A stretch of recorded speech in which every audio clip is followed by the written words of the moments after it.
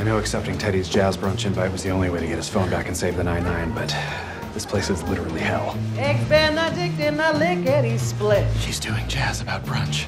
Maybe it's not too late to get out of here. We could start a new life in the country. Maybe open a small bookstore. Dare you tempt me with a small bookstore? We need to focus.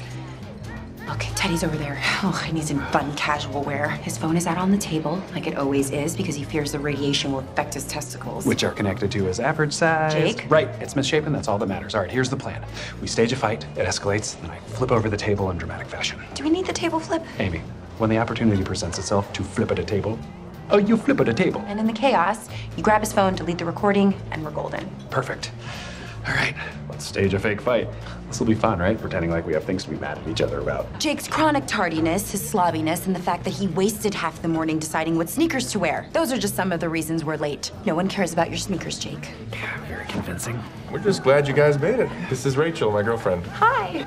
So Teddy said you guys had such a blast at the stakeout. Yes, it was incredible. But can I really quickly just say the real reason we were late was that Amy insisted on brushing her teeth for 30 minutes? Two minutes, or one minute, 58 seconds longer than you did. Anyway, can we please just talk to our friends? Oh, fine. Fine. So, Rachel, how did you guys meet? Oh. Such a wild story. So I was on an elevator, and so was Teddy. Oh, that's the whole story. I think it's romantic. I remember when our relationship had magic moments like that before it went stale. Uh, stale? Mm. Okay. You want some action, Jackson? Well, how about I make a scene? Whoa, ah! what are you doing? Flipping the table. Here. It's bolted down. Oh, what a shock. You tried something and failed. Okay, you know what? That's it. Swipe it out! I am so sorry. I got carried away. I will now clean this up entirely by myself.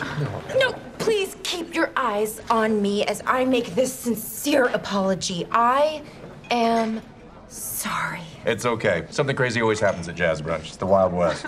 Oh man, Teddy. Look what happened. Your phone landed directly in this glass of OJ. that seems almost impossible. Almost being the key word, but it happened for real and we all know it. There you go. That's it. You've gone too far. I am storming off now. No, you've gone too far and I'm storming off now. Hey guys, it's Teddy from Jazz Brunch. Hey, Teddy. It's Teddy from Jazz Brunch. Why is he here? I don't know, but the fake fight's back on. So shut it, you big mouth bitch, and your stupid sneakers. If you don't like my shoes, you can just tell me. Hi. Can I talk to you guys about something? Actually, Teddy, this is not a good time. We're still having a pretty big fight. Well, I think what I'm about to say myself thinks. Amy, I'm still in love with you. What? What? What? Uh-oh. A skip, a scop, scoop. This is super uncomfortable. Jazz. Okay, okay, everybody just calm down and take a deep breath. what the hell is going on, man? Yeah, what the hell is going on? You got a girlfriend. I know, and she's fine. Thanks. Sorry, I was really planning on you being in the cab during this. Okay, that wouldn't make it better. Amy, I'm just, I'm not over you yet. And I would have never said anything because I thought you and Jake were happy. But after seeing you at Jazz Brunch, I think I might have been wrong. Don't read into that. That was a freak argument. We are very happy. Amy, we have all the same interests. We have so much chemistry. When we're together, it's like no matter where we are, it's San Diego. I feel compelled to tell you that San Diego's terrible. I'm lay it all on the line. Amy Santiago.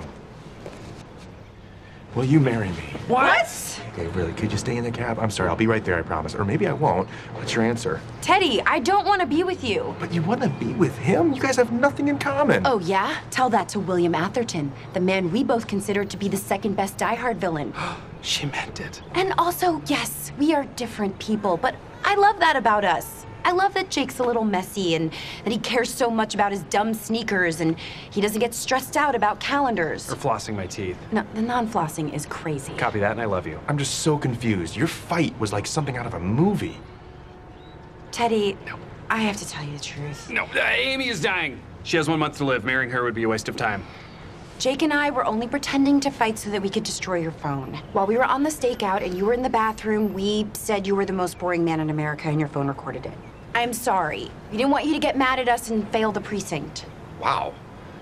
You guys are the worst. Oh. You just proposed in front of your girlfriend, so potato, potato. Amy, I loved you. All right, I'm ready to go, Rachel. Should we hit up the Tenement Museum? No!